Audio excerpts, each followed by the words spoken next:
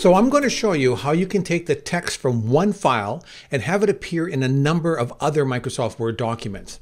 The nice thing about this is that we can update those files just by updating the one source, one click on the other file, and automatically everything updates.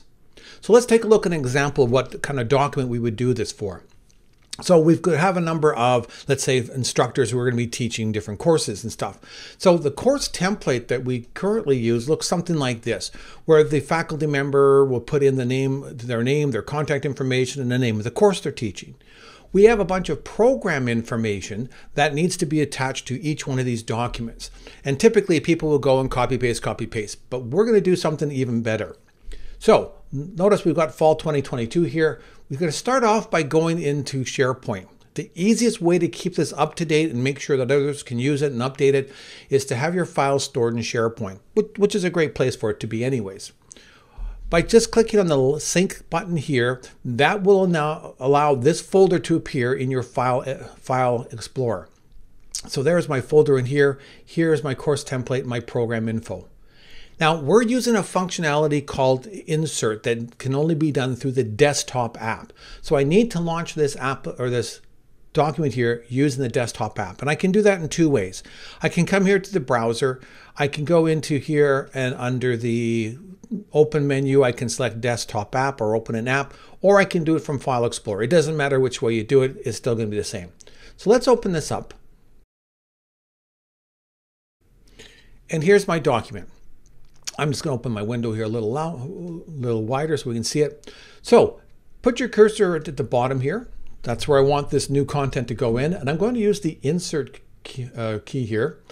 And over to the right, there's a menu section here called object. And when you click on the drop down arrow, we're going to insert a text from file. When we do that, this is where it's going to ask us where does the file live. And you want to make sure you're using a SharePoint site and you select this item here. You can use a file anywhere. However, if it's stored on your computer, then only you can make changes and update it. If it's stored this uh, within SharePoint, then anyone who has access will be able to, to do that. So there's that program information that we were talking about before. I'm just going to go into there and come down here and select Insert as Link.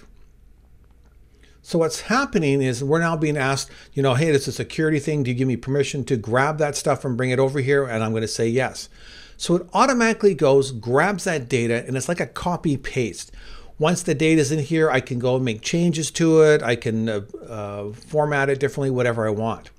Now let's say I have this document here for this course, and it's a year later. So I've got 15 of these documents, let's say, or maybe 100 of them.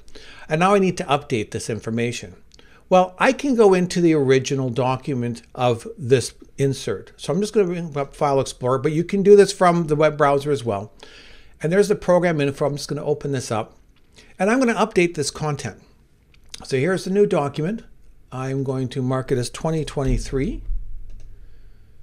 And it auto saves it, but I'm just going to close it just because it makes the window easier. Now, when I go to the right here, click on, uh, do a right click on this content here, you'll see it says update field because this is actually copy and pasted from somewhere else.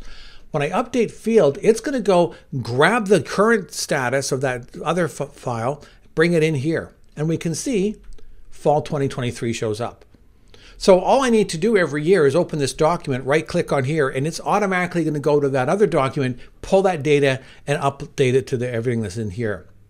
One thing I want to show that's kind of cool about all this I'm going to open up this uh, program information document again. If you use styles, heading ones, heading twos, and heading threes, really important. But notice here, I've got heading one, it's blue. My normal text is uh, some kind of sans serif called Seaford, Seaford. But when I bring that data over here, it uses the styles of this new document because this is the master document. Everything else just pulls in. And there we got, it's using the heading one style. It's using uh, normal style here, which is uh, a times or something like that. So it actually respects the fact that this is the styles for this particular document. So I'm just going to close these documents for now. And what we have here now is a template. I can go in here and make a copy of this.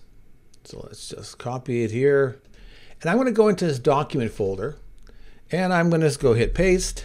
And I'll hit paste again. Whoops. Uh, well, hang on a second. I'll paste in here. I'll go and call this file one. Paste again. File two or course two, whatever you want to call it. Come on. Rename file two. As soon as I spell it properly, file two. And I'm going to open up file one. Now, there's that information we were talking about before. I just want to right click and I'll show you something. You can toggle the field code. And what that means is where is the source of this? And it's showing me that it's going through the SharePoint site and it's going to this document here. Now, here's a couple of things to understand. It's looking for this file path. So the name of the file cannot change. So you'll notice here, I actually created uh, a, a file here called program info. Do not move or re rename.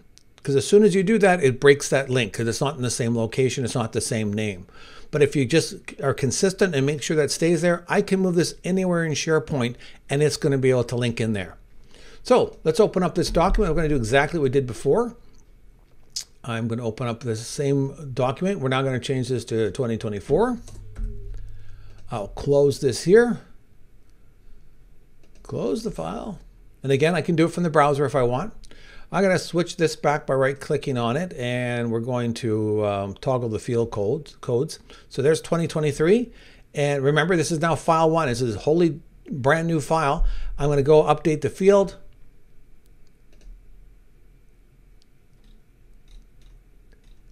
And there we are again, totally updated.